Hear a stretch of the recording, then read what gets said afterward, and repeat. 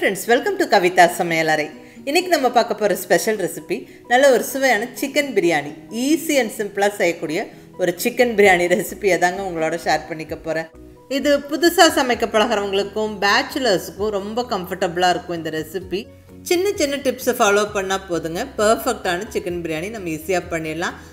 அதாவது தண்ணியோட அளவு குக்கிங் டைம் இந்த ரெண்டும் நம்ம கவனமாக செஞ்சுட்டா போதும். பிரியாணி நல்ல உதிரி உதிரியாக மணக்க மணக்க செஞ்சிடலாங்க. ஸோ இப்போ வாங்க ரெசிபி எப்படின்னு பார்க்கலாம். ஃபஸ்ட்டு ஸ்டெப்பாக ரைஸ் அளந்து எடுத்துக்கிறேங்க. நான் இங்கே எடுத்துருக்கிறது சீரக சம்பா ரைஸு இந்த சீரக சம்பா ரைஸு பிரியாணிக்கு நல்ல ஒரு ஸ்பெஷல் ஃப்ளேவர் கொடுக்கும். என்னோடய பர்சனல் ஃபேவரட் வந்து சீரக சம்பா ரைஸ் தான் பிரியாணிக்கு. பட் இது பாசுமதி ரைஸ்லேயும் பண்ணலாம். இதே ரெசிப்பியை தண்ணியோட அளவு மட்டும் கொஞ்சம் மாறுபடும். அது தண்ணி சேர்க்கும் போது சொல்கிறேங்க இங்கே ரெண்டு டம்ளர் ரைஸ் அளந்து எடுத்துருக்கிறேன். இது கிட்டத்தட்ட நானூறு கிராம் எடுத்துருக்கிறேன். இந்த ரைஸை நல்லா ஒரு ரெண்டு வாட்டி நல்ல தண்ணி விட்டு கழுவிட்டு நல்ல தண்ணி விட்டு ஊற வச்சிடலாங்க ஒரு மினிமம் ஒரு இருபது இருபத்தஞ்சி நிமிஷம் ஊறட்டும். அதிக நேரம் ஊறணும்னு அவசியம் இல்லை. ஸோ இருக்கட்டுங்க. ரைஸ் வந்து ஊறிட்டு இருக்கட்டும். ஒரு தட்டு போட்டு மூடி வச்சிடலாம் அடுத்தது சிக்கன் இங்கே அரை கிலோ சிக்கன் எடுத்துருக்குறேங்க. போனோட இருக்கிற பீசஸ் தான் எடுத்துருக்கிறேன். கொஞ்சம் பெரிய பெரிய பீசஸாக கட் பண்ணி வாங்கியிருக்கிறேன். பிரியாணிக்கு கொஞ்சம் பெரிய பெரிய பீசஸாக போட்டால் தான் நல்லாயிருக்கும் ஸோ நல்லா சிக்கனை கழுவி வச்சாச்சு ரைஸ் ரெடி சிக்கன் ரெடி அடுத்தது இப்போ தாளித்து விட்டுட்டு நம்ம என்னென்னு பார்த்துடலாங்க குக்கரில் தாளிச்சிடலாம். இங்கே நல்ல ஒரு டேபிள் ஸ்பூன் ஆயில் சேர்த்துக்கிறேன். கூடவே ஒரு டேபிள் ஸ்பூன் நெய் சேர்த்துக்கிறேன். இந்த ஆயில் கொஞ்சம் சூடானதுக்கப்புறம் இப்போ ஹோல் ஸ்பைசஸ் சேர்த்துடலாங்க. அது என்னென்னு பார்த்துடலாம் ரெண்டு பெரிய பீஸ் பட்டை நாலு கிராம்பு மூணு ஏலக்காய் கொஞ்சமாக கல்பாசி ஒரு மராத்தி மொக்கு ஒரு பிரிஞ்சி இலை. இப்போ எண்ணெய் சூடானதுக்கப்புறம் இதெல்லாம் போட்டு விடுறேன். இந்த ஸ்பைசஸ் எல்லாம் நல்லா பொரிஞ்சு வரட்டும். நல்லா பொரிஞ்சு வாசனை வந்ததுக்கப்புறமா இப்போ வெங்காயம் சேர்த்துடலாங்க. சன்னமாக நீளமாக கட் பண்ணின ரெண்டு பெரிய வெங்காயம். கூடவே ரெண்டு காரமான பச்சை மிளகாய் ஜஸ்ட் ஸ்ப்ளிட் பண்ணி சேர்த்துக்கிறேன். இதெல்லாம் நல்லா வதக்கி விட்டுறலாங்க. வெங்காயம் நல்லா கொஞ்சம் கலர் மாதிரி லைட்டாக ப்ரௌன் கலர் வர்ற வரைக்கும் வதக்கி விடுங்க.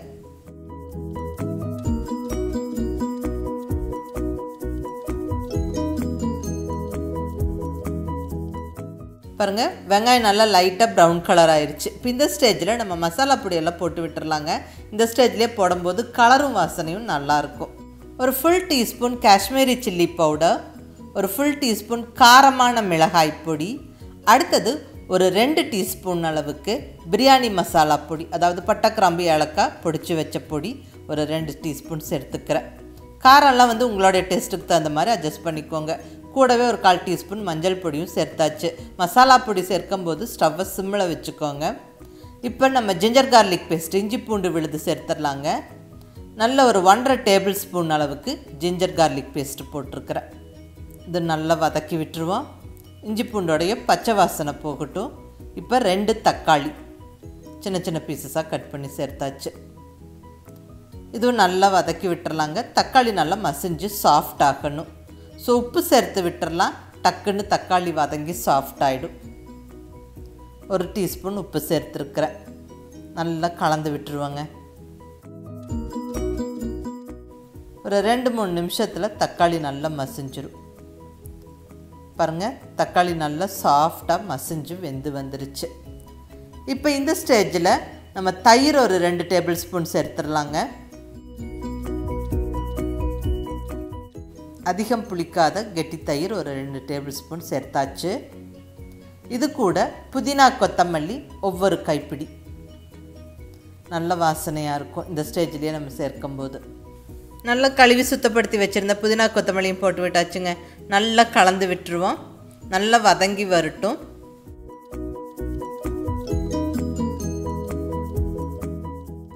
இப்போ இதில் சிக்கன் சேர்த்துடலாம் அரை கிலோ சிக்கன் சேர்த்துக்கிறேன். நல்லா பெரிய பெரிய பீசஸாக கட் பண்ணின போனோட இருக்கிற சிக்கன் சிக்கனை சேர்த்து நல்லா வதக்கி விட்டுருவோம்.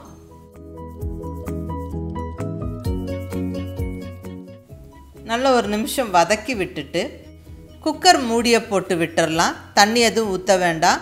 குக்கர் மூடி எடுத்து போட்டு டைட்டாக க்ளோஸ் பண்ணி வெயிட் வைக்க வேண்டாங்க. ஜஸ்ட் ஒரு எட்டு டு பத்து நிமிஷம் அப்படியே சிம்மில் குக்காக விட்டுருங்க. கண்டிப்பாக ஸ்டவ்வை வந்து சிம்மில் வச்சுருங்க.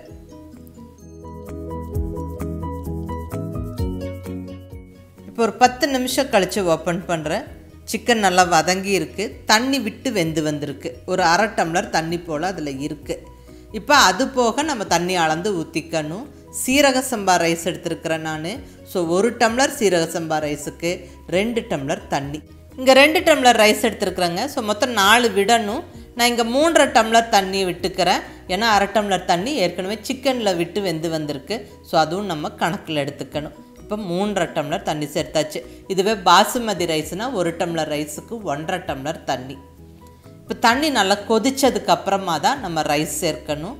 பாருங்கள் நல்லா கொதிக்க ஸ்டார்ட் ஆகிடுச்சு இந்த ஸ்டேஜில் நம்ம ஊற வச்சு ரெடியாக வச்சுருக்கிற ரைஸ் சேர்த்துடலாம். நான் சீரக சம்பா ரைஸ் சேர்த்துக்கிறேன்.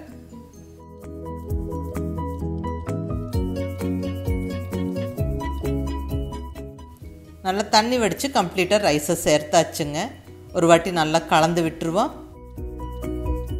இப்போ நம்ம உப்பு சேர்த்துடலாம். பிரியாணிக்கு தேவையான அளவு உப்பு சேர்த்துக்கிறேன். ஏற்கனவே தக்காளி வதக்கும் போது உப்பு சேர்த்துருக்குறோம். அது ஞாபகம் வச்சுட்டு சேர்த்துக்கணும். நல்லா ஒரு வாட்டி கலந்து விட்டுறலாம். உப்பு காரமெல்லாம் செக் பண்ணிவிட்டு தேவைப்பட்டால் சேர்த்து விட்டுட்டு இப்போ குக்கர் மூடி எடுத்து மேலே வச்சு விட்டுருங்க. இப்போ ப்ராப்பராக மூடி வெயிட்டெல்லாம் போட வேண்டாம். இருக்கட்டும் ஒரு அஞ்சு நிமிஷம் நல்லா கொதிச்சதுக்கப்புறமா அகைன் மறுபடியும் எடுத்து கிளறி விட்டுட்டு தான் நம்ம லிட்டை கரெக்டாக போடணும். இப்போ பாருங்கள் நல்லா கொதிச்சிருச்சு. ஒரு சிக்ஸ்டி செவன்ட்டி பர்சன்ட் ரைஸ் வந்து வெந்துருச்சு. இந்த தண்ணி வந்து ஈக்குவலாக போயிடுச்சு. இப்போ இந்த ஸ்டேஜில் ஒரு அரை எலுமிச்சம்பழத்தை புழிஞ்சு விட்டுறலாங்க. அடுத்ததாக ஒரு ரெண்டு ஸ்பூன் நெய் மேலே விட்டுறலாம். சாதம் நல்லா உதிரி உதிரியாக வரும். கூடவே கொஞ்சமாக புதினா கொத்தமல்லியும் மேலே போட்டு விட்டுறலாம். நல்ல வாசனையாக இருக்கும். அவ்வளோதான் எல்லாமே சேர்த்தாச்சு. இப்போ நம்ம குக்கர் மூடியை ப்ராப்பராக டைட்டாக போட்டு விட்டு வெயிட் வச்சு விட்டு நம்ம ஸ்டவ்வை கண்டிப்பாக சிம்மில் வச்சிடணும். வெயிட் வச்சதுக்கப்புறம் ஸ்டவ்வை கண்டிப்பாக சிம்மில் வச்சிடணுங்க. சிம்மில் ஒரு பத்து நிமிஷம் வெந்து வரட்டும். விசில் வந்தால் ஒரு விசில் விசில் வரலன்னா ஸ்டவ்வை ஆஃப் பண்ணிவிடுங்க நல்லா அந்த ஸ்டீம் ப்ரெஷர்லாம் போனதுக்கப்புறம் நம்ம இப்போ ஓப்பன் பண்ணுறோம் பாருங்கள் வாவ் நல்லா கம கமன்னு வாசனையோட நம்மளுக்கு பிரியாணி ஜம்முன்னு ரெடி ஆயிடுச்சுங்க மூடியை திறந்த உடனே கிளறி விட வேண்டாம். சாதம் குழஞ்சிரும். ஒரு ரெண்டு மூணு நிமிஷம் விட்டுட்டு சைடில் இருந்து எடுத்து விடுங்க. அப்போ தான் பர்ஃபெக்டாக நம்மளுக்கு இருக்கும். வாவ். நல்ல சாதம் நல்லா வெந்திருக்கு சிக்கனும் நல்லா வெந்திருக்கு.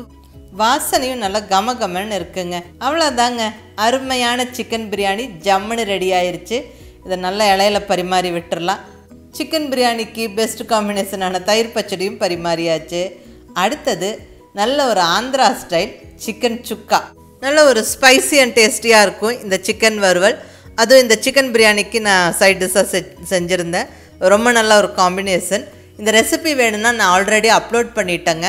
கீழே டிஸ்கிரிப்ஷனில் லிங்க் கொடுத்துருக்குறேன். வேணுங்கிறவங்க பார்த்துக்கங்க. அவ்வளோதாங்க சிம்பிள் அண்ட் ஈஸியாக ஒரு சிக்கன் பிரியாணி ரெசிப்பியை உங்களோட ஷேர் பண்ணிட்டேன். நீங்களும் மிஸ் பண்ணாமல் இந்த வீக்கெண்டில் ட்ரை பண்ணி பாருங்கள் ட்ரை பண்ணி பார்த்துட்டு எப்படி இருந்ததுன்னு உங்கள் ஃபீட்பேக் சொல்லுங்கள் பிடிச்சிருந்தா லைக் பண்ணி ஷேர் பண்ணி கமெண்ட் பண்ணுங்கள் கவிதா சமையலரை சப்ஸ்கிரைப் பண்ணி என்னுடைய மற்ற ரெசிபிஸும் வீடியோஸும் பாருங்கள் தேங்க்யூ